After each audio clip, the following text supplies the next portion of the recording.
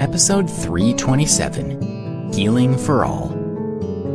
Debbie, can you hear me? Alex said in a low voice. Alex? Debbie stared at him, confused. She couldn't believe that she was still alive. How do you feel now?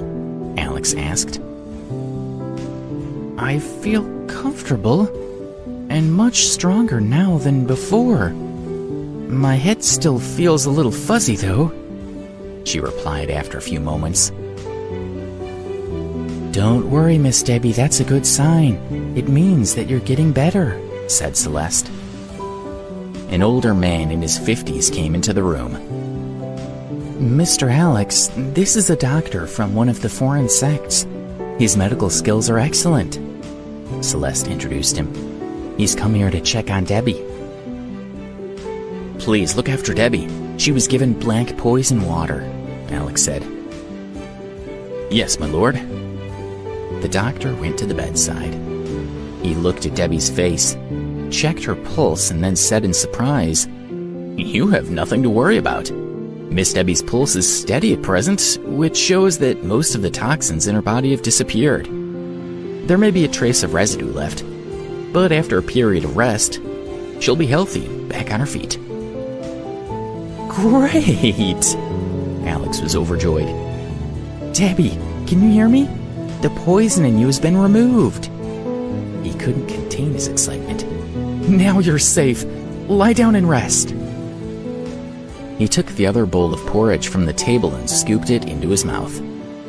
It was delicious, sweet and sticky, and he quickly ate every morsel. Alex and Celeste walked out of the room and around the Moon Palace. The palace had an elegant ancient garden with pavilions, flowing water, rockeries, strange stones, and willows. It was full of beauty and wonder. Despite the palace's traditional design, every room was also equipped with modern household appliances, such as an air conditioner and a heater. There was definitely no shortage of money at the Moon Palace. Whatever they needed, they would be able to afford. Alex also noted that all the people were carrying bowls of the orchid porridge. After asking Celeste, he learned that she had cooked the orchid in a large pot.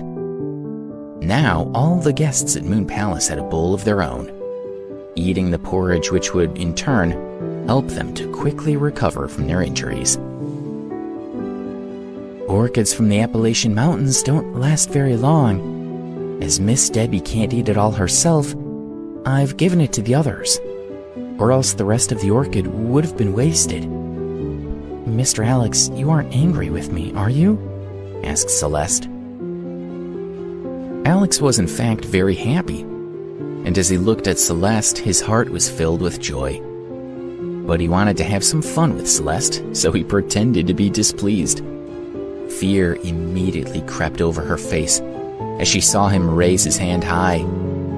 She covered her ears and closed her eyes. However, the slap that she was expecting never came. She jumped slightly as she felt his hand rest gently on her head instead. She slowly opened her eyes and saw that Alex was smiling at her. She understood he was just teasing her. Mr. Alex, you were so bad. You scared me half to death. I thought you were angry, Celeste said, half angrily, half relieved. What? How dare you say the Lord is bad? Alex laughed. Oh, my apologies, Master. For a split second, Celeste had forgotten her place. She was a maid. It was considered inappropriate for her to speak that way to the Lord of the Moon Palace.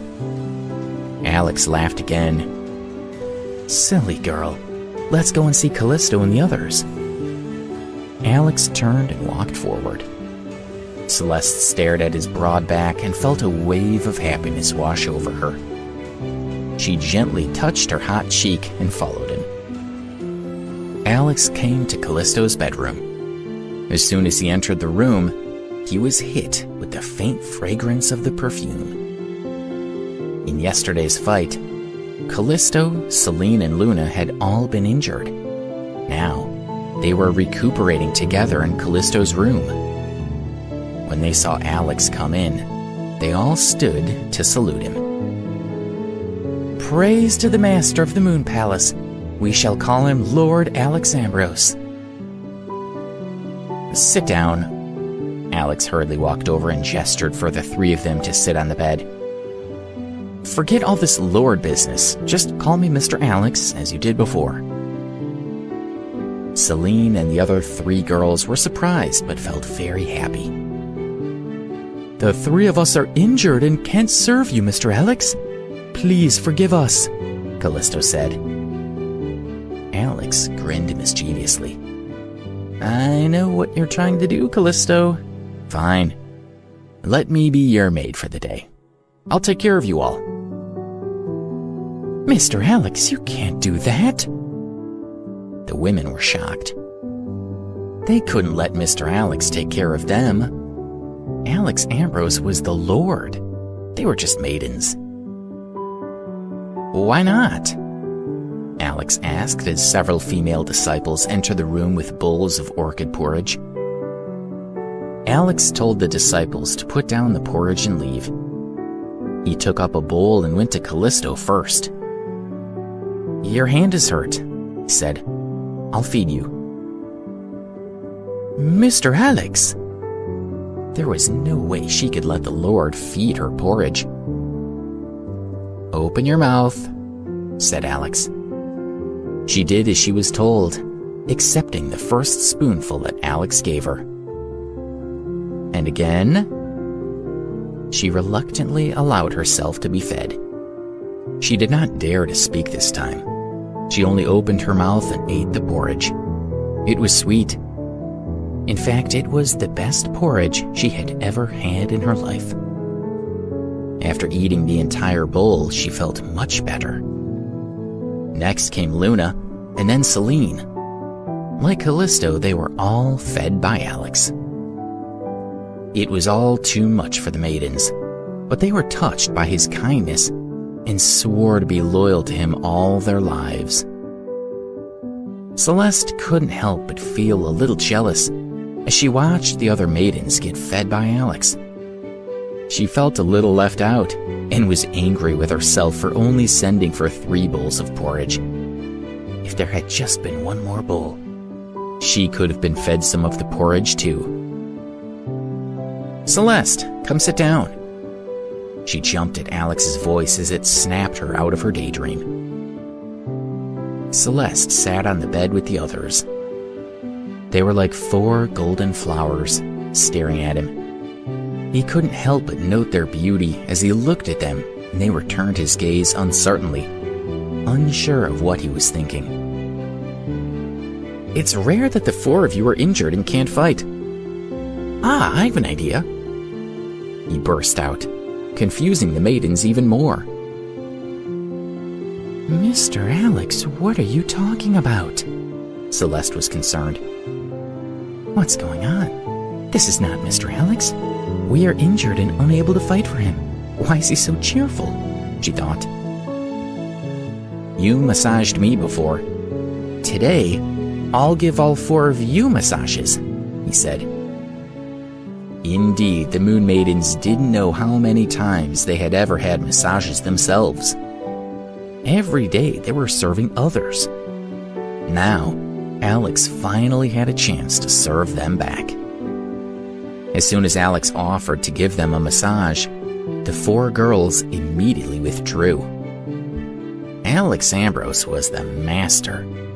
They were supposed to serve him. How could they do the opposite of what they had been trained to do?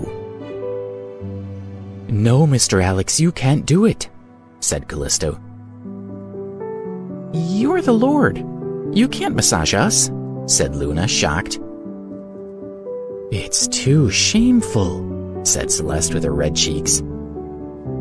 Ladies, I am the Lord, and everything I say will be obeyed. It was all settled today. If you oppose me, then you will be disobeying the Lord's order, Alex said. This time the maidens did not say another word. although they were still nervous. Well, let's wash your feet first. Alex called two disciples. Go and get four pots of hot water for your sisters to soak their feet.